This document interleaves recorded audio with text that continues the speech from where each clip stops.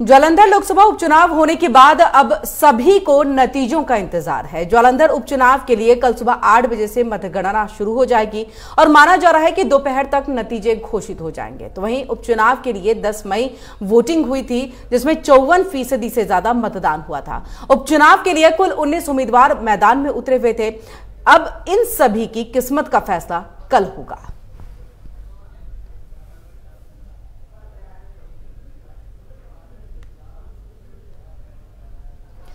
तो आपको बता दें कि 19 उम्मीदवारों की किस्मत का फैसला कल हो जाएगा क्योंकि 10 मई को जो वोटिंग हुई थी उसके बाद नतीजे कल आएँगे जिसका इंतज़ार सभी को है। ज्वालंधर उपचुनाव के लिए आ, कल सुबह आठ बजे से मतगणना शुरू हो जाएगी और ऐसा माना जा रहा है कि दोपहर तक नतीजे घोषित हो जाएँगे।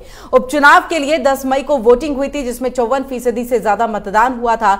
उपचुनाव के लिए कुल 19 उम्मीदवार मैदान में उतरे थे और अब इन सभी की किस्मत का फैसला कल होगा। यानी कि तेरह मई, जब ईवीएम खुलेगा और उसके बाद काउंटिंग शुरू होगी और किस्मत किसकी अच्छी रही किसे जनता ने आशीर्वाद दिया, इसका फैसला कल हो जाएगा। उन्नीस उम्मीदवारों की किस्मत ईवीएम में कैद हुई थी 10 मई को, जब वोटिंग हुई थी तमाम जो जालंधर की जनता है, चाहे उसमें बूढ़े बुज़ुर्ग रहे हो, महिला रही हो या युवा रहे हो, बढ़ चढ़ करके उन्होंने हिस्सा लिया था।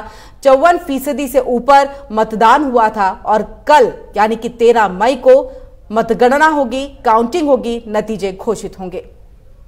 और ज़्यादा जानकारी के लिए हम सीधे रुक कर लेते हैं अपने संवाददाता दीपक शर्मा का। दीपक स्ट्रांग रूम में ईवीएम को कड़ी सुरक्षा के बीच में रखा गया, जो कल खुलने वाला है। और उसके बाद 19 उम्मीदवार जो चुनावी मैदान में थे, उनकी किस्मत का फैसला कल होगा। जी, बिल्कुल दस मई को किस्मत का फैसला जो है ईवीएम में कैद हो चुका है। उन्नीस उम्मीदवारों की किस्मत का फैसला जो है वो ईवीएम में कैद है। इस वक्त सुरक्षा प्रबंधों के अंदर जो है ईवीएम मशीन जो अंदर में स्ट्रॉन्ग रूम में रखी हुई हैं, कल सुबह आठ बजे से जो है वोटों की मतगणना जो है वो शुरू होगी और लगभग लगभग दोपहर होते होते साफ़ हो जाएगा कि किस पार्टी का, किस प्रत्याशी का इस सीट पर कब्जा हुआ है, क्योंकि लगभग हर पार्टी ने जो अजमाइश यहाँ से की थी, चाहे वो कांग्रेस की बात करें, सत्ता पक्ष, आम आदमी पार्टी की बात करें, बीजेपी की बात करें या अकाली दल की बात करें, आम आदमी पार्टी की तरफ़ से सुशील सिंह को जो कांग्रेस के आम आदमी पार्टी में शामिल हुए थे, पंजाब की सत्ता में है आम आदमी पार्टी, और कहीं ना कहीं सीट वर्चस्व का सवाल था। चुनाव प्रचार भी क्या है, खुद अरविंद केजरीवाल जो आम आदमी पार्टी के राष्ट्रीय संयोजक है, वो यहाँ पहुँचे साथ में, सीएम भगवंत मान ने रोड शो किए। अगर बात की जाए बीजेपी की से, तमाम स्टार प्रचारक जो है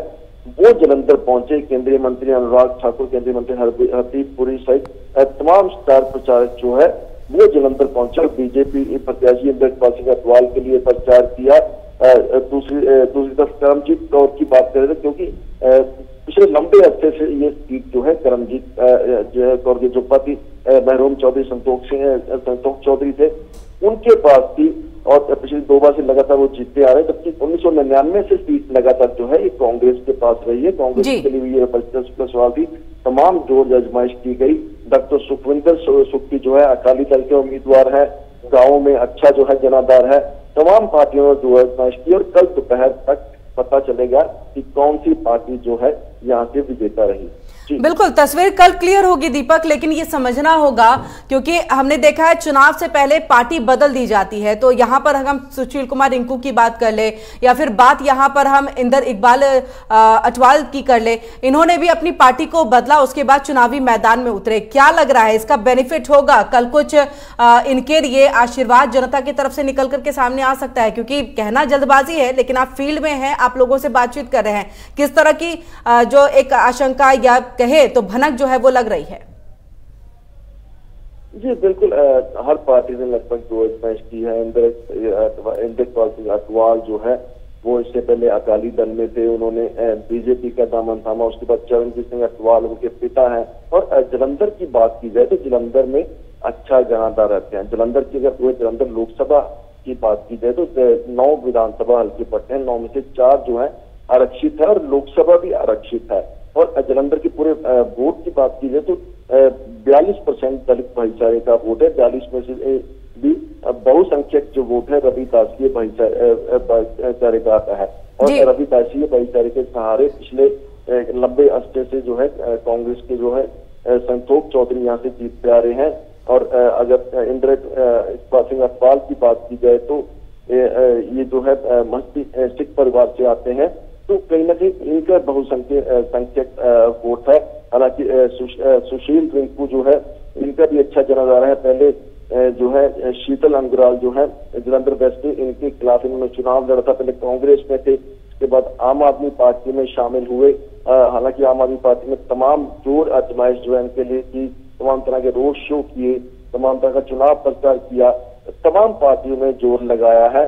सभी सभी जो प्रत्याशी चाहे सुशील रिंकू हो चाहे इंद्र इकबाल सिंह अटवाल हो डॉक्टर सुखविंदर सौखी सुखी मौजूदा मौजूदा विधायक भी हैं चाहे वो हो ये तमाम जो उम्मीदवारों ने कहीं ना कहीं ज़ोर आजमाइश की है और कल किस्मत का फैसला कहीं ना कहीं होने वाला है। जी कल के लिए तैयारी कैसी है? जी बिल्कुल क्योंकि इस वक्त की अगर बात करें तो स्ट्रांग रूम में सख्त सुरक्षा प्रबंधों के अंदर जो है ईवीएम मशीन रखी गई हैं। सुरक्षा के कड़े प्रबंध सेंट्रल फोर्सेज की भी मदद दी जा रही है। सैनिक दल जो है वहाँ लगाए गए हैं। साथ ही साथ पंजाब पुलिस जो है वो सुरक्षा कर रही है। ईवीएम मशीन की कल सुबह आठ बजे से जो है वोटों की मतगणना जो है शुरू हो जाएगी। और कल दोपहर होते होते जो है कहीं ना कहीं पता लगेगा कि कौन सी पार्टी जो है वो विजय हुई है किस पार्टी की जीत हुई है। जी बहुत बहुत शुक्रिया दीपक, तमाम जानकारी हम तक पहुँचाने के लिए। तो इसी के साथ 19 उम्मीदवार, जिनके लिए कल का दिन बहुत बड़ा दिन होने वाला है, उसी के साथ जालंधर की जनता के लिए भी ये दिन जो है बहुत बड़ा होने वाला है, क्योंकि उन्होंने जिन उम्मीदवार को अपना वोट दिया है, क्या वो जीत करके इस चुनाव को जीतते हैं, देखना होगा। कल तस्वीर क्लियर होगी, आप अपडेट देखते रहिएगा, सुबह सात बजे से लगातार M H one news channel पर आपको पल पल की जानकारी हम पहुंचाते रहेंगे, और सबसे तेज आपको चुनावी नतीजे सिर्फ़ एम एच वन पर ही देखने को मिलेंगे।